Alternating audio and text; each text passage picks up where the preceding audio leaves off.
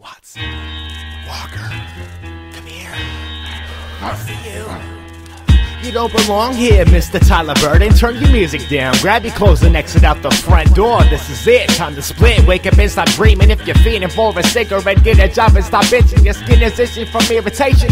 Must be the lack of motivation in your system. It's got you missing life in an instant. Nobody wants your existence like a suffocated infant. Can't even get out of bed with a feeling hesitant. And even in your own home, you feel like a visitor.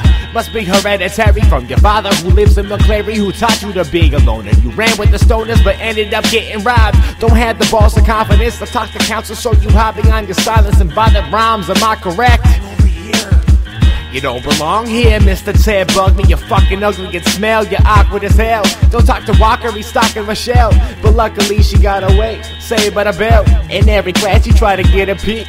To masturbate before you go to sleep, and all along you didn't know that you were just a fucking creep. Walking in alleys, avoiding cars and pedestrians. You're more nervous than anybody has ever been. You have friends who you mock and criticize, only utilize them to your advantage. Damage is critical, you're weak and you're pitiful. Your piece of shit get buried in a pitfall. Spoiled ass bastard, let me make it dead faster. Stolen Glock, put the dome lock, safety off.